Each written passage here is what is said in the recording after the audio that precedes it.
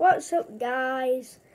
How to make a house in Minecraft. Let's start. Start by making a stair pattern like this. Make a grid pattern like this and all, and all the stilts need to be three blocks high. Fill it in with wood like this. Try and give it your own unique design.